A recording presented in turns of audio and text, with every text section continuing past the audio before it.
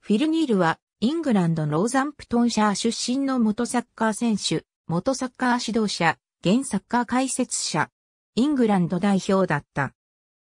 現役時代のポジションはディフェンダー。リバプールではキャプテンを務めていた。また PK のスペシャリストでもあった。選手としては、ノーサンプトンタウン FC、リバプール FC、ボルトンワンダラーズ FC に在籍した。リバプール在籍時には、ファーストディビジョンで8回、FA カップで4回、FA チャリティシールドで5回、UEFA チャンピオンズカップで4回、UEFA カップで1回、UEFA スーパーカップで1回優勝、通算650試合に出場、59ゴールを挙げた。イングランド代表としては50試合キャップを記録し、UEFA 欧州選手権1980と1982、FIFA ワールドカップに出場した。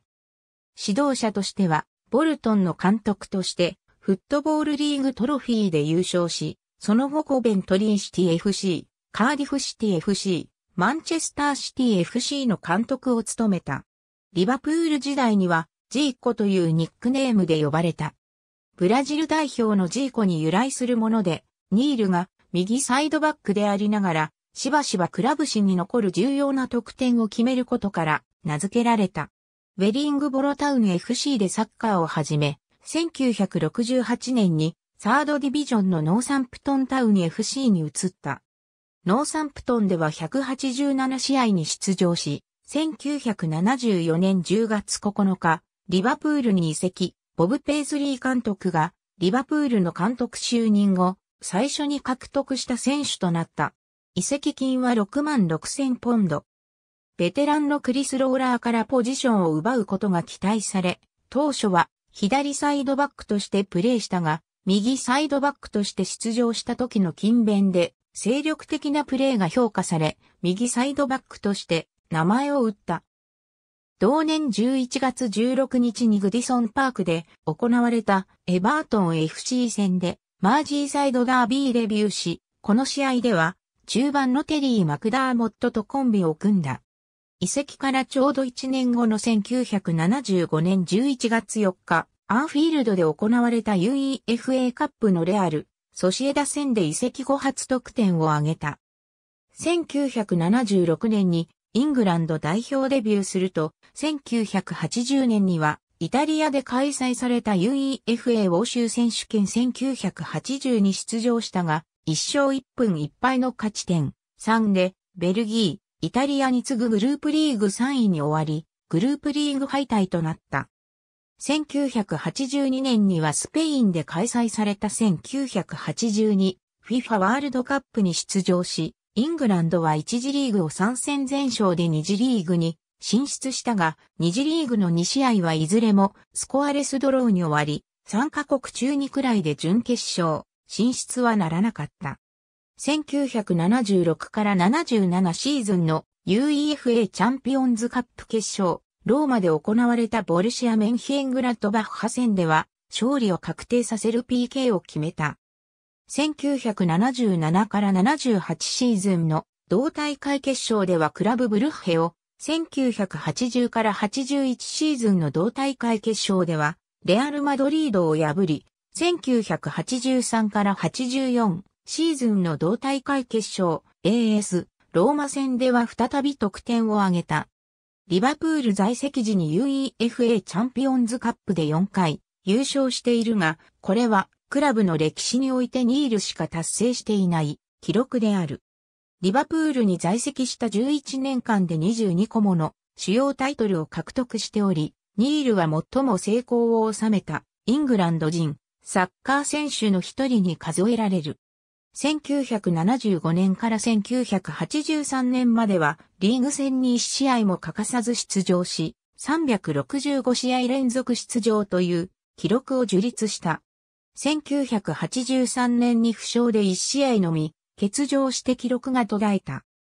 1985から86シーズンの開幕はリバプールで迎えたが、1985年12月にはサードディビジョンのボルトンワンダラーズに選手兼任監督として移籍し、結局7年間ボルトンを率いた。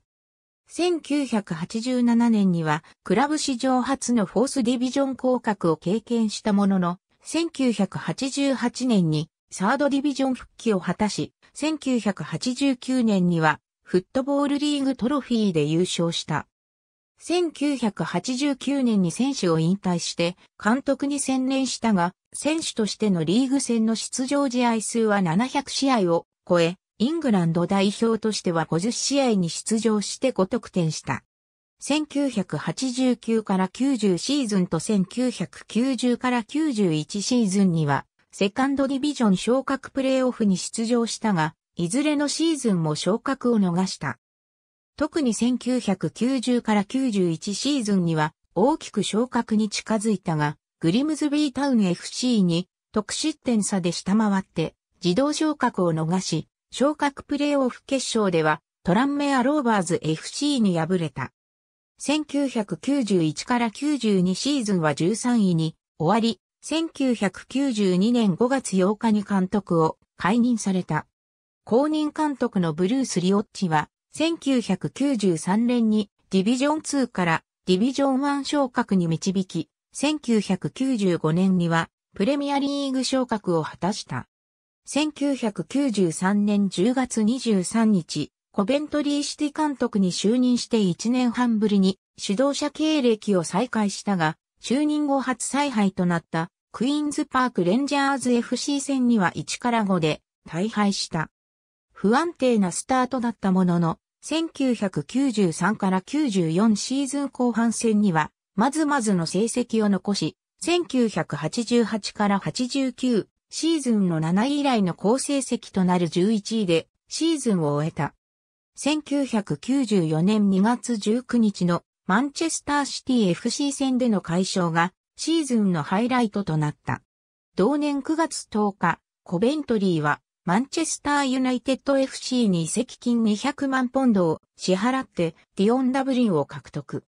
しかし、1994から95シーズンは成績不振に苦しみ、ニールは1995年2月14日に解任された。2月11日には同じく低迷するクリスタルパレス FC にアウェーで勝利したばかりだった。解任時のコベントリーは17位で残留圏内に一致していた。公認監督にはロナート・キンソンが就任し、コベントリーは残留に成功した。彼は1996年2月にディビジョン3のカーディフシティ監督に就任したが、同年10月にニニアンパークを離れ、スティーブ・コッペル監督が指揮するマンチェスターシティのアシスタントコーチに就任。マンチェスターシティはディビジョン1で残留争いを演じていたが、コッペル監督は11月8日に辞任し、12月29日にフランク・クラークが正式な監督が就任するまで、ニールが暫定監督を務めた。1997から98シーズン、ニールはピーターボロユナイテッド FC のバリー・フライ監督の下でアシスタントコーチを務めたが、1998年3月15日にフライ監督によって解任された。近年はテレビ局やラジオ局でサッカー解説者として働いている。スカイスポーツマスターズリーグに王者として君臨しているリバプールマスターズで選手や監督を務めた。1981年にはアタックフロムザバックというタイトルの自伝を発表し、1986年にはライフエティーザコップというタイトルの自伝を発表した。ありがとうございます。